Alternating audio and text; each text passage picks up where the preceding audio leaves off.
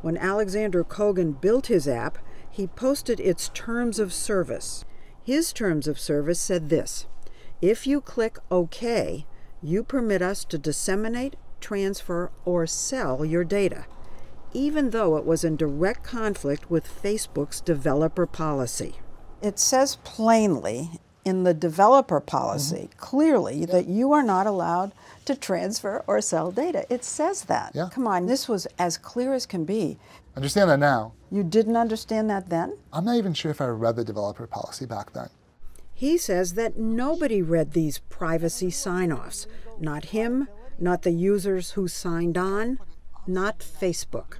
This is the frustrating bit where Facebook clearly has never cared Mean, it never enforced this agreement. And they tell you that they can monitor it and they can audit and they, they can check and they'll let you know if uh, you're doing anything wrong. I had a terms of service that was up there for a year and a half that said I could transfer and sell the data. Uh, never heard a word. The belief in Silicon Valley, uh, and certainly our belief at that point, was that the general public must be aware that their data is being sold and shared and used to advertise to them, and nobody cares.